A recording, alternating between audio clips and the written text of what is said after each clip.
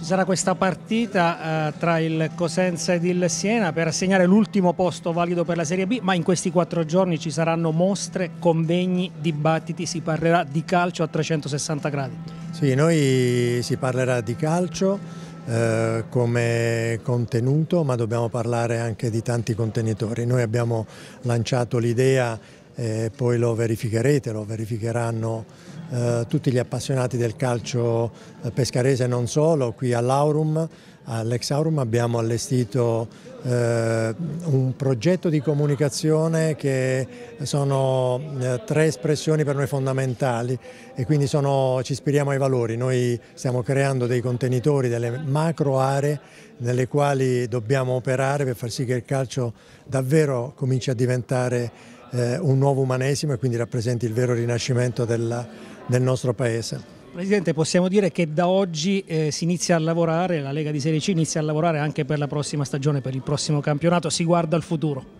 Noi guardiamo sempre al futuro, la Lega è in continua evoluzione, una Lega in movimento, una Lega dinamica. Eh,